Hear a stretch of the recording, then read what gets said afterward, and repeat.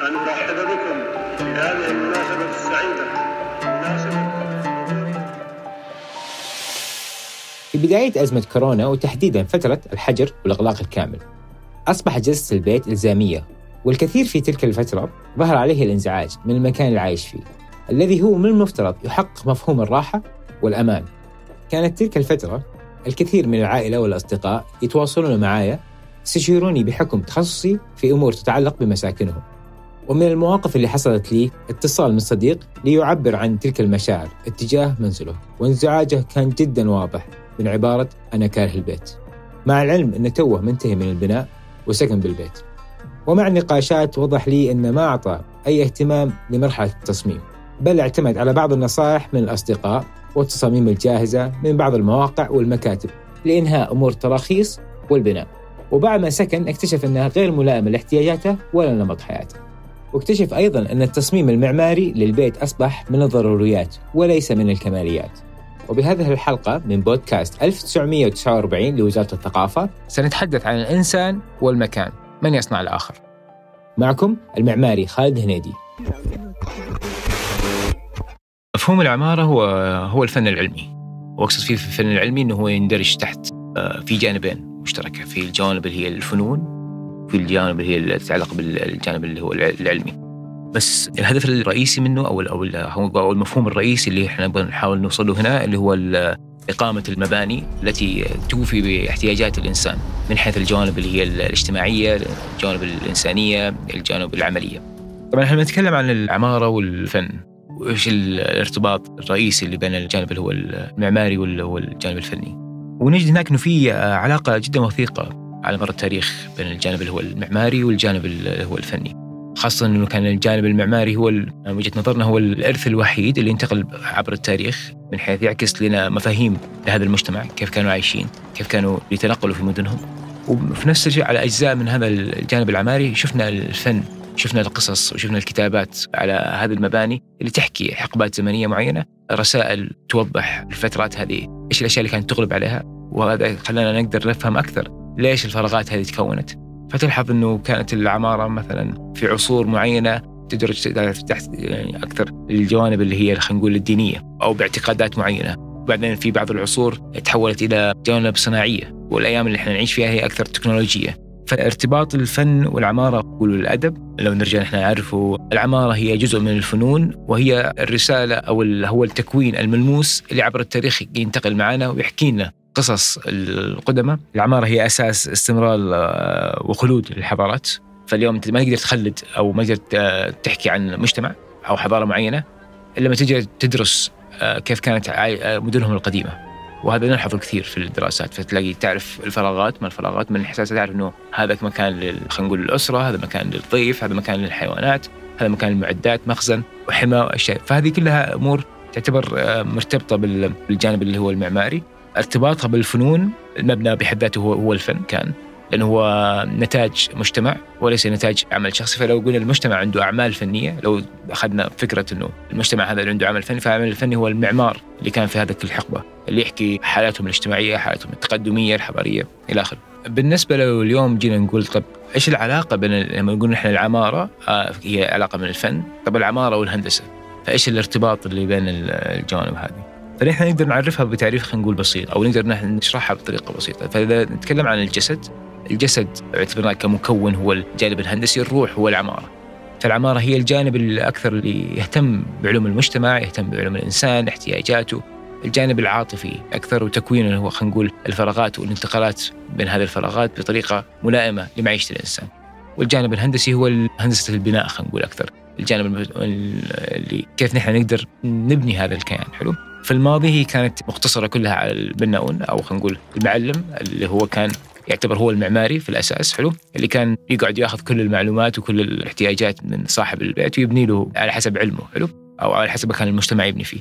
فاليوم مع الزمن صار في تخصصات فتخصص العمارة انفرد بذاته وهو صار تخصص يعكس اللي هو الفنون والمجتمع والثقافة والجانب هذا وعلم الإنسان نفسه بحد ذاته في الفراغ. فالجانب الهندسي هو جانب آه، هندسة البناء من حيث الإنشاء والكهرباء والميكانيكال كلها مكملات لبعض ولكن هناك في مؤثرات على الجانب المعماري. من وجهة نظري هي مؤثرات كمان رئيسية الواحد لازم ما يغفل عنها. ممكن نحن نختصرها بقسمين رئيسيين اللي هو طرف بيئي طبيعي ما نقدر نغير فيه شيء. وفي الجانب الثاني هو العوامل البشرية نفسها. فلما نتكلم في العوامل اللي هي البيئية في تحت الجانب هذا في ثوابت ولما نتكلم في الثوابت هي الأشياء اللي تتعلق بجغرافية المكان المناخ الطقس الغطاء النباتي الغطاء الحيواني في هذه في هذه المنطقة. وهذه مؤثرة على على نفس المعمار. لما نيجي على العوامل البشرية نتكلم إنه في هناك ثوابت وفي متغيرات. لما نتكلم الثوابت دائما في المجتمعات في ثوابت اللي هي الثوابت الدينية والأحكام اللي هي الشرعية لهذه لهذه المنطقة أو المرجعية الدينية لهذه المنطقة وبرضه العادات والتقاليد والمجتمع. فهذه تعتبر ثوابت آه، من الصعب المجتمع يغيرها. أما المتغيرات هي أمور يمكن سياسية طرأت على المجتمع في حقبة زمنية معينة مؤثرات تقنية أو آه، في البناء فكل ما يتطور تقنيه المناش ومن الأبراج قاعد تطلع فهذا مؤثرات تقنية حاليا وفي مؤثرات أمنية وسياسية. فجأة هذه الدولة طلعت من حرب فهي في مرحلة بناء تبغى توفر مساكن بسرعة معينة فتلاقيها استخدمت أسرع طرق البناء وأسرع طرق التخطيط. فهذه المؤثرات لازم توضع في الاعتبار.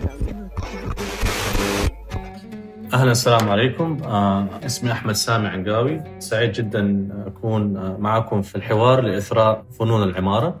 العمارة بشكل عام مرتبطة آه كثير جدا بالفنون بحيث إن آه، دائما داخلها وفي خارجها ترتبط فيها كثير من الأعمال سواء الحرفية وأعمال الفنية داخل المبنى وخارج المبنى. العمارة فن مو فقط بصري يعني. العمارة في المعنى وفي المبنى. يجب المعنى يرتبط بالمبنى ويجب المبنى يرتبط بالمعنى وهو من الأشياء الأساسية في ثقافتنا وحتى في التراث بشكل عام. المعماري يعني تخصص دارس القواعد الأساسية في البناء، دارس آه، الإنشاء، دارس حتى النسب اللي تستخدم في المساحات حتى تدي الطابع المقصود آه، للشخص اللي هو عايش فيه. صحيح إنه في تعبير إنه كل شخص في فنان داخله أو في شخص له الشغف إنه يبني أو يعمل شيء. بس طبعا آه، زي ما أنتم عارفين لازم في تخصص والتخصص يدرس القواعد الأساسية للإنشاء وغيره. فالمهندس المعماري أو المعماري يعني دائما ينظر النظرة الشمولية لكيف عملية تحويل هذا الحلم والحس إلى منتج إلى بناء يناسب الشخص المستخدم. طبعا وفي مهندسين إنشائيين والمهندسين اللي هم المتعلقين بالهندسة الداخلية وغيرها من هذه الشبكة اللي تكون دائما مرتبطة بالمكتب الهندسي أو المعماري. بس المعماري هو يقدر يحول الرؤية للقاصد أو للزبون إلى منتج. طبعا يكون عنده تراكم خبرة في التعامل مع منفذين ومع مقاولين والخامات المستخدمة ووفرتها في مقولة آه، إذا صح التعبير عنها للشيخ المعماريين حسن فتحي. كان يقول أنا المعماري الفقير وأنا المعماري الأمير على حسب القاصد. فممكن يصمم عمارة تكون معمولة لشخص آه، في طبقة مجتمعة وعنده ميزانية معينة آه، في البناء وممكن الشخص اللي عنده احتياجات معينة مساحات أكبر ممكن يبني قصر أو أو أو أو, أو, أو مكتبة أو ما شاء. فالمهم جدا طبعا الشخص اللي هو حيسكن في المكان أو المستخدم المساحة نفسها يقدر المعماري يفهم المتطلبات المحتاجة لهذا الشخص، الميزانية المحتاجة لهذا الشخص ويبدأ على أساسها آه، يصمم ويعمل شيء يكون يناسب اولا الطبيعة كمان لأن إحنا عايشين في وضع يعني واحد يحاول بقدر الإمكان إنه ما يأثر أو ما يسيب أثر يعكس بشكل سلبي على المساحة اللي هو فيها أو الطبيعة اللي هو فيها. كثير الآن حتى بتواصل على مفهوم ما تأثر على التلوث الطبيعي والتلوث البصري طبعا على حسب كيف ممكن يستخدم العمارة في الناتج النهائي وكيف تدي نمط للمدينة نفسها. فنحن اليوم لما ناخذ آه، لو نحن نرجع آه، أو خلينا نقول بالنسبة للمفاهيم أو الثوابت اللي كنا نتكلم عنها اللي هي المتعلقة بالمؤثرات المعمارية نرجع نعكسها على المملكة هنا. فبنشوف إيش تأثيراتها. فحنلاقي عندنا إحنا طبعا التنوع الطبوغرافي اللي موجود في المملكة؟ عندنا اللي هي الصحاري في المنطقة الوسطى عندنا والهضاب عندنا الجبال في منطقه الجنوب والشمال. فكل خلينا نقول العوامل اللي هي الطبيعية اللي ذكرناها موجودة. آه وبرضه نفس الشيء اللي هي تعتبر في والعوامل اللي هي خلينا نقول الإنسانية. فبالنسبة لنا في المملكة كيف المؤثرات هذه أثرت؟ فحنلحظ إنه مثلا كانت الحياة في في المنطقة الوسطى هي حياة في جزء منها يعتبر تنقل لعشر الصحراء كانوا متنقلين فكان عندهم الخيام وكانت هي مناسبة لعيشهم يتنقلوا حول مصادر خلينا نقول العيش اللي هي الماء كانت في هذيك الزمن. وفي اللي سكنوا المدن زي مثلا تكلمنا سكنوا الهضاب زي تكلم عن مدينة مثلا الدرعية آه اللي هم بنوا مساكن أو استقروا في منطقة فأثرت عليهم المؤثرات اللي هي من آه فأثرت عليهم في المؤثرات الطبيعية كانت استخدام خلينا نقول نفس المواد اللي هناك طبيعة الجو في نجد وتكوينات الممرات اللي هي الضيقة بناء بالمواد تخلي الأماكن الفراغات هذه أكثر ملائمة للعيش وحنلقى هذه نفس التجربة أو نفس التكوين هذا في أغلب المدن اللي هي اللي على نفس الجانب اللي هو الطبيعي أو الجانب أو المؤثرات الطبيعية في حول العالم. بس لما نتكلم عن الجانب الاجتماعي نجي نعكسها على الدريه فهي مختلفة عن كل المدن اللي بنت بنفس المواد التكنيك أو خلينا نقول فيها نفس العوامل اللي هي الطبيعية. فهذا التداخل المجتمع حلو فتلقى في اختلافات في من حيث اللي هي تقسيمات وفكرة البطن الحوي اللي هو مفتوح على المبنى من الداخل وكيف ارتباط المباني مع بعض وكيف إنه فكرة اللي هو السوق والممر هو نقطة الالتقاء بين كل خلينا نقول عائلة وعائلة في هذه في هذه الأحياء. فنحن نجي نتكلم عن المؤثرات اللي هي خلينا نقول الطبيعية اللي ونعطي مثال هنا في نجد تحديدا في الدرعية وكيف انه هم بنوا بالطين وكيف كانت تكوينة خلينا نقول سبب استخدام المادة هذه هي هي المتوفرة في المكان وهي برضو كعوامل طبيعية تحقق كفاءة اللي هي العزل من الحرارة والشمس وهذا. وبرضه ترتبط هذا تتكلم عن الجوانب اللي هي الطبيعية. بس في ارتباط برضه اللي هو ثقافي في المكان أو الجانب اللي هو الاجتماعي للمكان. فالاجتماعي هو ينعكس على التقسيمات الفراغات فلما نتكلم عن فكرة البطن الحوي في المباني في الدرعية مختلفة لو جينا نقارنها مثلا بالرياض في المغرب. أو فكرة اللي هو يسموها مباني أو المنطقة المفتوحة في نص داخل البيت ففيها اختلاف هناك من حيث الارتفاعات ومن حيث اللي هي الفانكشن في نجد نتكلم هنا أو في الدرية تحديدا كانت المباني متلاصقة مع بعض وماشية بتدرجات معينة لتحجب خلينا نقول الشمس من وصولها الممرات هذه وتسمح للهواء تيارات الهواء إنها تتحرك في هذه الممرات. حتلاحظ برضو في نجد كانت العمارة تميل للبساطة وأتكلم بالبساطة بعدم خلينا نقول الجانب اللي هو الترف في نفس المعمار والتزيين والتشكيلات أما في يمكن في المغرب تلاقيها اهتموا بتلوين المباني وبزخرفتها وتداخل الثقافات فحتلقى بعض الأشياء اللي هي ممكن أصلها ما هي موجودة هناك بس أضيفت على العمارة في المنطقة هذيك. فعلى الجانب الآخر لو نجي نحن نتكلم في العمارة في المنطقة الجنوبية وهي تندرج على ثلاثة يمكن أقسام جغرافية في هذه المنطقة. فعندك الجانب اللي هو الساحل بعدين عندك الجانب اللي هو يعتبر اللي هو السهل وبعدين عندك الجانب اللي هو الجبلي اللي هي تسمى منطقة تهامة خلينا نقول بصفة يعني رئيسية. فتلاقي فيها ثلاثة أساليب بناء مختلفة. فالجانب اللي هو الساحل حتلاقي هم كانوا يبدوا بالعشش. والعشش هذه عبارة عن خليط من أغصان وطين كانت تكويناتها كلها ارتباطها بال خلينا نقول بالبحر أكثر. تطلع شوي على المنطقة الساحلية حتلاقي بنوا بالحجر والطين فكان خليط بين المواد اللي هي متوفرة هناك. وكانت هي الأكثر المناطق اللي كان فيها أمطار. وهي كانت عرف سكان المنطقة هذه بالزراعة بعدين انتقاليا لل خلينا نقول المنطقة الجبلية اللي هي كانت بنوا فعليا بال خلينا نقول بالحجارة. فلا كانت متوفرة الطين عندهم هناك ولا كان من الأشياء اللي يحتاجوها. حتلاحظ في فارق كبير بين هذه الثلاثة الأنماط فنتكلم عن البناء في الساحل مجتمعيا تلاقي المجتمع كان أكثر منشغل بالتجارة أكثر فاللي هو اللي كانت على البحر والصيد والأمور هذه. فتلاقي المباني عشش بسيطة ما فيها تقسيمات من الداخل فهي كل عشة هي بحد ذاتها فراغ. وداخله في بعض التفاصيلات اللي هي أو الزوايا الاحتياجات اللي في نفس الفراغ هذا. ننتقل إلى الجانب اللي هو في المناطق الساحلية اللي كان هو البناء بالحجر وبالطين. فتلاقيها أكثر هي توضح مجتمع أكثر. فكرة إنه المباني هذه مجتمع حول الساحة والساحة هي اللي فيها مناسبات لسكان هذه هذه المنطقة. ونفس المبنى تكويناته مكون من أدوار دور بسبب استخدام الحجاره وتمكن الإنسان يطلع بهذه الارتفاعات تلاقي دور للعائلة دور للضيوف دور للمبيت كان مفهوم برضه في الجنوب كان اجتماعيا كان الطبخ كله يصير في الأسطح. فكان هذا في اختلاف يعني أسلوب. أما في المنطقة اللي هي البحر كانت لما يجي واحد يطبخ يطبخ خارج المبنى أصلا. ما كان في حيز للطباخه أما نطلع للمناطق اللي هي الجبلية هي حنلحظ فيها تكوينات مختلفة كلها صخرية مباني أصغر. تميل اللي هي فكرة اللي هي زي ما تقول الأبراج اللي هي مرتبطة باسم الحصون اللي هي دفاعية أكثر. كانت الفكرة الأساسية منها هو إنك تحمي عائلتك أو تحمي مدخراتك في هذه المناطق من القبائل اللي ساكنة في حول المنطقة هذه من العدوان.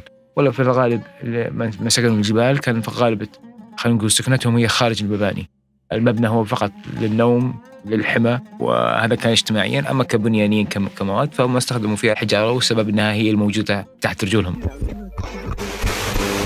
إحنا عندنا هنا في المملكة شيء مهم جدا. يعني عندنا ذكر في القرآن إن أول بيت وضع للناس.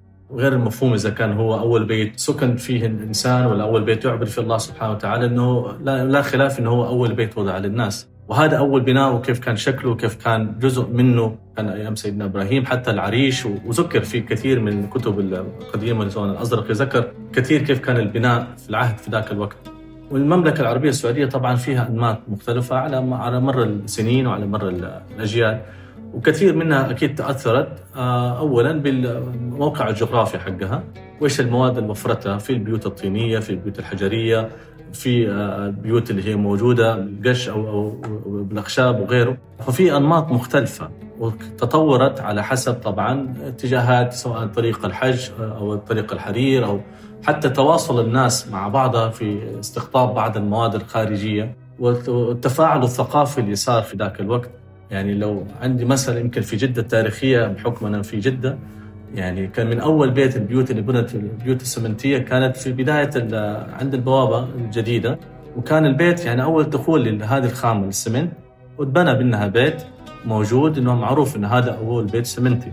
وكان في ذيك الفترة طبعا وفرت هذه الخامة الموجودة ودخولها للمكان. وبعدها تطورت وصارت فيها الأحياء الجديدة اللي هي مبنية آه، البيوت السمنتية الجديدة وبالطرق هي المدن كيف تقسمت كيف صارت مناطق كثير منها توجهوا وسابوا البيوت التاريخية لبيوت متطورة في الخامات حتى إنه ما يكون فيها دخول الغبرة أو أو الراحة الشخصية في المساحة. وبرضه لكل شخص كان وجود السيارة وغيرها فكان يخطط وتتعمل الأحياء على هذا على هذا الأساس. وبعدها تطورت طبعا. لو تلاحظ حتى آه، البيوت اللي بدأ فيها تدخل البيوت القزازية وارتفاع المباني بوفرة الحديد وكيف عملية الإبداع في في التشكيل لهذه الخامة حتى ممكن يكون ناطحات سحاب.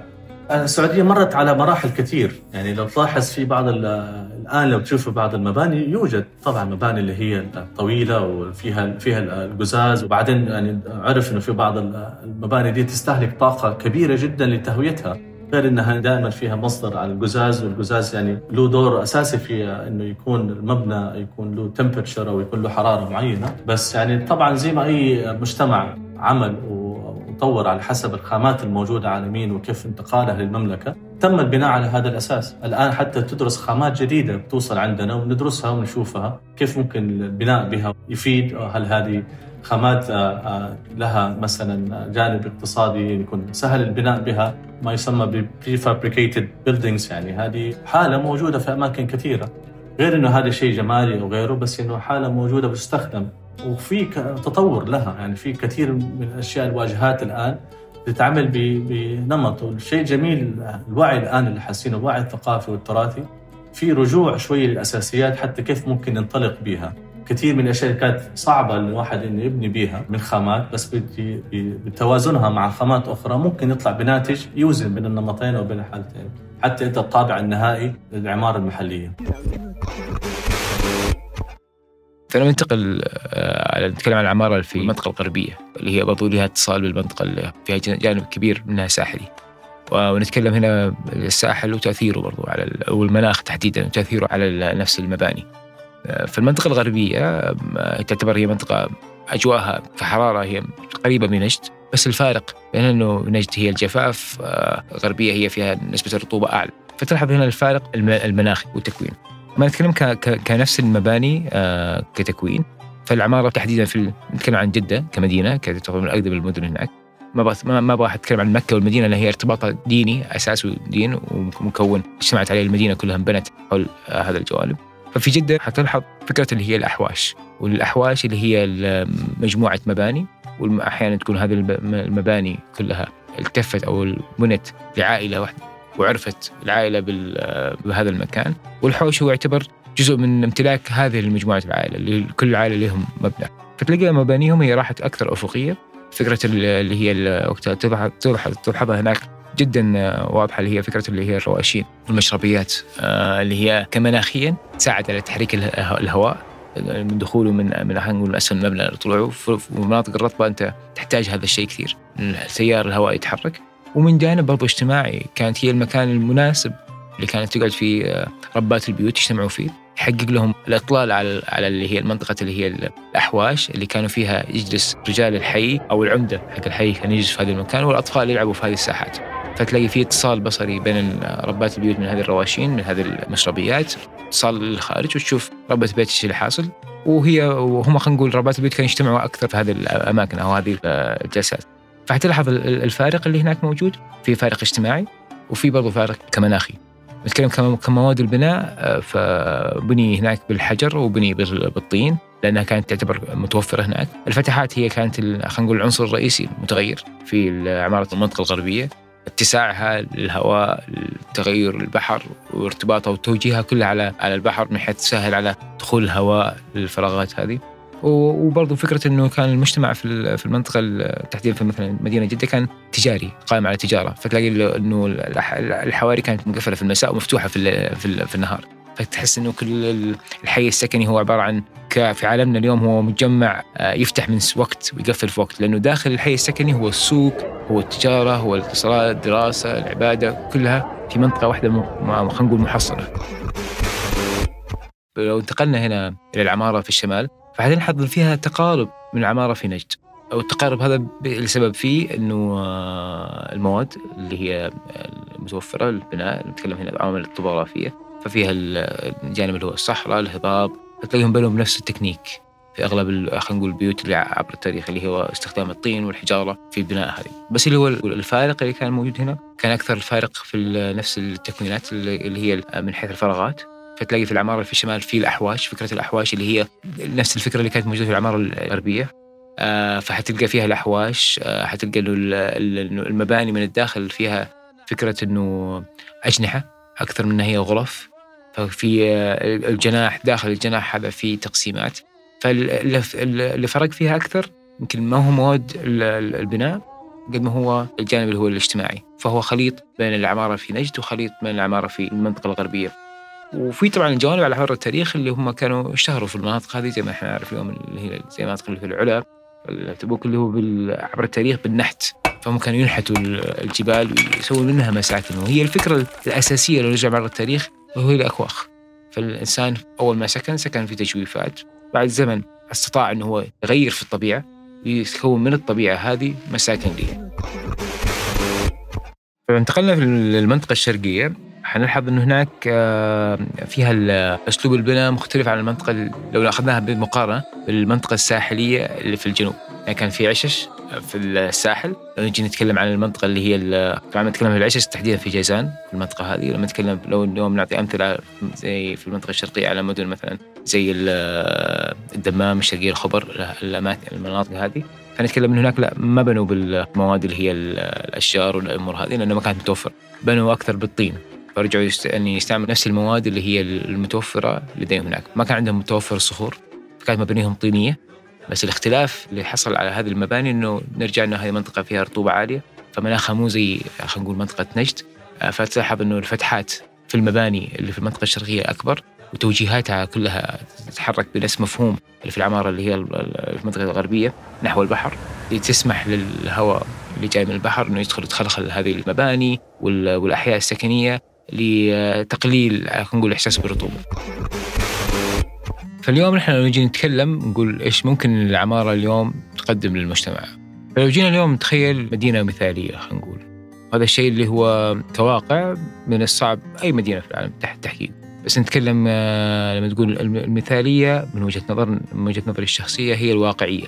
والواقعية تقصد فيها حياة الإنسان اليوم لما تجي تختصرها على يوم كامل من حياته. فيبدأ نقول هذا ينطلق من هو المسكن اللي هو فيه كيف ارتباطه بالمكان العمل اللي, هو يشتغل فيه. وبرضه هذا المسكن كيف قاعد يساهم في رقي جودة المعيشة في المكان. أنا متكلم إنه إحنا اليوم المباني المساكن هذه يعني اليوم واقعية فإنه أنا أقدر اليوم في الأشياء البسيطة إني أقدر أطلع مثلا أمشي على رجولي إني أروح مثلا البقالة أو أروح إني أشتري بعض احتياجاتي أو أروح مثلا المسجد. نروح إن إحنا خليها صعبة هذه كلنا عشناها هنا حسنينا فيها. كان من السابق. مستحيل إنك تروح أنت المسجد إنك تمشي على رصيف. تمشي من ضمن الشارع. وأنت تلاقيك وأنت تمشي في الشارع أنت خايف من السيارة ممكن تجي يعني خلينا نقول تصنف فيك. وهذا الشيء اللي أقول هو مو واقعي. فنحن رحنا الواقعيه لو كل إنسان وتلقى أي أحد لو تتكلم اليوم تقول له هذه المعلومة حيقول لك صحيح. ويبدأ يمكن يخش معك في نقاش طويل جدا إنه يقول لك إنه هذا الحين فهي الواقعية. فمن الواقع اني أنا ما أذهب أو هذه الحركة اللي هي خمس مرات في اليوم للمسجد من الواقع إنه يكون لها طريق مخصص لها. بس تلقى إنه لا الطريق هو اليوم هو موجود هو موجود للشارع. آه نتكلم من نفس احتياجات الإنسان اليوم إنه هو مثلا بيروح يشتري حاجة معينة ومن الواقعية هو إنه ياخذ سيارته ويطلع يمشي مسافة ثلاثة أربعة كيلو عشان يقدر ياخذ له مثلا قطعة خبز مثلا أو مشتريات احتياجاته اليومية ويرجع نفس المكان. نختصر برضه كمان زيادة يعني نتكلم على هذا له علاقة طبعا بالتخطيط والتخطيط الحضري إنه اليوم سكان خلينا نقول حي آه ألف يدرسوا في مدارس سكان حي بي ليش؟ وسكان حي فهذه كلها أمور مرتبطة أكثر تخطيطيا. آه، موظ- موظفين آه، خلينا نقول في شمال الرياض ياتوا من جنوب الرياض. فهذه أمور كلها استراتيجية أكثر. وترتبط في التخطيط في التشريع الاشراطات اللي هي مرت- مرتبطة في هذا المكان. اليوم كثير ناس ينتقدوا اللي هي ال- الأحياء الشبكية. أنا ما أقول هي الح- الحل المثالي بس هي الم- حل ممتاز. لو طبق كما صمم. وما اقصد فيها كذا إنه كل حي سكني اللي هو كل 2 كيلو 2 كيلو. متوفره في كل الاحتياجات الحي في قلب الحي من مدرسة ومركز صحي ومسجد جامع ومساجد آه، ثانوية خلينا نقول في في أطراف الحي. آه، فحتلاحظ إنه يومك كامل كشخص ساكن بعيدا عن عملك تقضيه داخل حي فأنت غير مضطر إنك تطلع خارج نطاق الحي السكني. فهذا ياثر على جودة حياة المدينة بصفة عامة مو الشخص إنه بحيث الطرق الرئيسية يقل عليها الازدحام يصير في استفادة أكثر من الطرق الداخلية. اليوم نسبة الاستهلاك للطرق اللي داخل الأحياء ولا شيء. تدخل الشيء الشارع طول الوقت ما تتحرك في سيارات فالفكرة اليوم اللي هي تعتبر معالجة لهذا ال- لهذا المفهوم إنه إلغاء بعض الشوارع داخل الأحياء السكنية فهي منطقية. ففي يمكن لو لو في البداية اليوم أو تقولها لأحد يمكن يصدم يقول تلغى شارع عندنا في حي ما يتقبلها. بس هو المنطق لأنها استخدامها ممكن يعدي اليوم كامل تعدي فيه خمسة سيارات. فهذا هدر لفراغ ممكن يتحول إلى ممر حديقة مكان يلتقي فيه سكان الحي. مفهوم ال- ال- ال- التراث وال- والزخارف صحيح الآن يمكن الوعي أكثر من ب- بالحفاظ والاهتمام بالتراث وشفناها بشكل ظاهر كثير حتى في الأزياء وفي المنتجات وفي العمارة. ودائما للأسف يمكن الاهتمام فقط للشكل الخارجي. يعني أو الشكل الخارجي لمفهوم التراث اللي هو يعبر عنه يمكن بالزخارف. أنا عنه اختصاصي أنا في في الزخارف وأقدرها جدا. آه بس ما هي فقط 2 دي المفهوم ما هو فقط يعني مسطح لا هو أشمل من ده أكثر. الأشكال الهندسية لما تنتج حتى في الذرات ولا في النواة. في أشكال ما يسمى بالإنجليزي اللي هو geodesic أو platonic solids هذه كلها أشكال. بداية البناء أو بناء بداية النقطه لما ترتبط من ثلاث نقاط إذا كانت نقطة وبعدين يكون في نقطة ثانية يصير خط. هذه مسطح. لما يكون في نقطة ثالثة تبدأ تصير آه، مثلث عند التوصل إليها ونقطة رابعة يبدأ يصير عندك solid يكون عندك مساحة يكون عندك حجم. وهنا تدرس هذه الأشياء بطرق تحليلية. أولا أنا عندي مفهوم التوثيق يجب التوثيق في كل ما يتعلق بالتراث وبالعمارة وبالفنون. بعدين يجي جانب التحليل التحليل الهندسي والتحليل العملي. التحليل الهندسي كيف هذه النسب والأقدار الموجودة والتحليل العملي كيف تصنع وكيف تعمل. بعدين يجي جانب الإبداع. هي للأسف دائما بننط على طول على جانب الإبداع بدون ما نعمل المرحلتين الأولى اللي هي مهمة حتى نفهم زي ما يسموها الدي ان اي نفسها زي أي تكوين له تكوين أساسي أو محتويات أساسية. هي تخليها تظهر هذا الشكل هي اللي تخليها تظهر هذا المنتج. مو بس فقط نركز بأشكال الظاهريه للمباني أو المنتجات أو للزخارف فكده بتدي مساحة أكبر للانطلاق مساحة أكبر للتعبير. صحيح دائما لو تلاحظوا حتى في مناطق الآن كثيرة يعني أغلب العمارة اللي موجودة الآن في نجد يعني كثير بتستخدم اللي هي المثلثات. يمكن الناس شافوها بكثرة الآن لحدت إنه لا يمكن في شيء ثاني موجود وفي أشياء ثانية وأشكال ثانية تعبر عن عن هذا المفهوم أو هذه الهندسة وكيف عملية استخراجها بنمط يعاصر الوقت. يجب أن يكون يعاصر الوقت. أنت لو لو عملت شيء بس مجرد تكرار لما ما سبق أنت شخص فقط يعني ما بتتنسم. مفهوم التراث الحي مبني على التنفس مبني على الشهيق والزفير مبني على أخذ ما هو الموجود الآن وإعطاء الشكل النهائي للمنتج. أخذ اللي هو موجود بالمسببات سواء المواد سواء التقنية الموجودة المعلومات أو الخبرة الموجودة في هذا المجال وكيف إضافة شيء جديد حتى يكون آه، شيء يواكب برضه مع مع العصر مع مع مع العالم في في مفهوم البناء يعني الآن في آه، اشتراطات والليدز وغيره في العمارة الواحد لازم يعني يتبعها حتى يطلع بعمارة مناسبة. العلاقة لازم يكون فيها توازن لا يكون تغير تام. ببناء شيء تحس إنه ممكن لو أخذته لو اتاخذ هذا المبنى وتحط في مكان ثاني ما يعبر عن نفس المكان. يجب إنه يعبر عن المساحة اللي إحنا عايشين فيها، يجب أن يعبر عن جغرافية المكان نفسه حتى يكون له اهتمام للناس المحليين وحتى الناس اللي هم الزوار أو بحيث يشوفوا شيء يختلف. ولكن يعني يربطهم في نفس النمط أو في نفس المفهوم. من الجوانب اللي نحن كان نتكلم فيها أكثر اللي يعني ممكن نحن جانب مهم لما نتكلم في جودة الحياة أو ماذا علينا أن نضيف للمدينة. نحن لازم نؤكد على رفعت نسبة التقاء سكان المدينة أو الأحياء ببعضهم. اليوم نسمعها كثير ودينيا نتكلم في إنه آه، الجار وما الجار وهذه امور نحن عارفينها في كدينه بس نتكلم كمجتمعيا لازم نرفع نسبة التقائهم وأنا أقصد فيها كيف؟ إنه اليوم كثير ناس اسمعهم يقول أنا ساكن في عماره والله اللي ساكن جنبي ما أعرفه. في شقه حلو؟ والسبب أسلوب الحياة اللي هو مرتبط من عمارتك تطلع تركب سيارتك في يمكن في القبو من سيارتك تنتقل تدخل مكتبك. فالرحلة هذه التقائك بالمجتمع معدوم. أنت داخل خلينا نقول خلينا نسميه مكوك. المكوك هذا ينقلك من مكان لمكان تلتقي في ناس ثانيين فما تلتقي في مع مع جيرانك. وهذا يقلل نسبة الأمن في الحي. فإيجادك للممرات الخارجية إنه اليوم أنت بدل ما تروح أنت مثلا بقالتك تروحها بالسياره ليش ما تروحها مشي؟ حتلتقي بجارك. حيصير بينكم بعض الحوار حيصير بينكم بين حتعرف الأشكال الحي اللي ساكنين فيها. حتقل الأمن حيرتفع بنسبة كبيرة. وهذه كانت مبنية من في المدن القديمة ما كان في في شرطي كانت هي الأمن يأتي من سكان الحي. فسكان الحي هم يتمنوا بعضهم على بعض في في مبانيهم. فهذه برضو لها نتكلم نحن الجوانب نحن لو ضفنا هذا رفعنا جوده أشياء ثانية الناس كثير يخفوا عنها يحسبوا انه هي بس فقط شجرة جميلة ورصيف ونمشي في داخله. جميل. الإنسان يقدر يتكيف والإنسان تكيف في, في الرياض وفي كل في السعودية. على مر التاريخ إنه يمشي يروح المسجد ولا في ولا شجرة وعلى إسفلت أسود في درجة حرارة 50 الانسان يقدر يعيش. نتكلم عن رفع كفاءة، استغلال الموارد، تقليل نفقات مهدرة من من وجهة وهذه كلها تنصب في في بالأخير لمجتمع. والمهم في النهاية أن نعرف أن العمارة تعكس الهوية الثقافية والمجتمعية للمكان والإنسان واهتمامنا فيها راح يبرز قيمنا الفكرية واعتزازنا بالموروث العريق. وإهمالنا لها راح ينعكس علينا بشكل سلبي وتصبح أبنيتنا بلا روح. يعني أشبه ما تكون موسيقى بدون صوت.